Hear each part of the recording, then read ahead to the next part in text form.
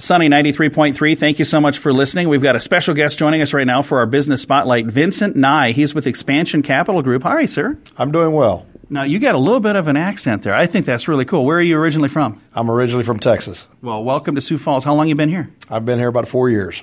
And Expansion, Expansion Capital Group just recently got some really nice accolades on a national level. Uh, the it says right here, best place to work in financial technology in 2019. That's pretty darn cool. That's very cool. Very proud of that. Uh, it required. Uh, our, our team to participate in some survey work uh, for a, a national media house that um, found us to be worthy, and we're very proud of it and proud of it for our team. We also uh, received an accolade from Inc. 5000 of being one of the fastest growing uh, fintech companies as well. That is fantastic. What brought you to Sioux Falls, and how did you choose to come here to, to do what you're doing? I, first of all, thanks for being here, but but how did you choose this on that giant map of the world to, to be right here? Well, first, thanks for having us. We appreciate you taking time out to host us. Um, Sioux Falls is really a uh, matter of picking South Dakota, who have uh, a regulatory embodiment that is more logically aligned with financial services in the United States. Very, very nice. And then I suppose if you're in South Dakota and you want people to be able to work there, you need to be where there's people, right? Uh, absolutely. Uh, South Dakota has been also the recipient of some great accolades recently on the national landscape, and we're a bit of a early mover there, I guess, because we've been here for about five years and um, have seen some of that, uh, you know, cause the marketplace to be a bit more robust. Very, very nice. So let's talk about Expansion Capital Group because when, when I hear that name, I don't know exactly what that means, but I'll bet you do. I do exactly. Uh, so Expansion Capital Group was a was a moniker that the ambition was to be somewhat explanatory, which is capital for a business to expand. Um, it was largely brought to life out of the belief that the marketplace did not supply or, or, make available capital at a level that small businesses in America need in order for them to propagate and to, to flourish. Um, I come from a, a, fairly small town in Texas. I was um, a young, I guess, um, entrepreneurial spirited young man, and I, I, had a lawn mowing service that included a couple little cemeteries in town. And from there, fast forward a bit through some educational process and, and ultimately wound up in some dry cleaning establishments as well as developing stores. And the consistent aspect of that, all the way back to my teen years and then into my uh, early adulthood, was capital constraints. Um, the inability to be able to advance your business or sustain your business because of the timing or the lack of timing on available capital and available resources. When we had the 2008 2009 bank reset, if you will, uh, in America, a, a, significant portion of what was available got disrupted. Some of the mechanisms vis a vis credit card financing that many entrepreneurs um, find themselves faced with, balance transfers, which allowed for low or no uh, interest levels, largely went by the wayside through the Card Act. And so you had a tremendous disruption.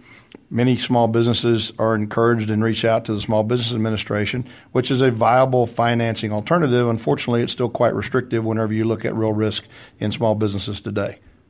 So when when a business wants the money and needs the money to grow, they don't always have that available through other resources. Exactly. Um, most any small business person will tell you that timing is always their worst enemy, and whenever you try to deal with traditional channels, oftentimes the amount of time that's necessary in order to position yourself to receive any funding is insurmountable. Let alone the fact that the amount of underpinnings and underwriting that go along with it are such that you either don't have the ability to uh, to deliver those or you don't have the time to deliver those, and that process can stretch out 90 days very easily. We generally turn files around inside of 48 hours. Oh, very nice. And I've heard it said uh, when I talked to another business owner, they was saying, when I need money from the bank, they never have it for me. But when I don't need money, they're always here saying, hey, we want to help.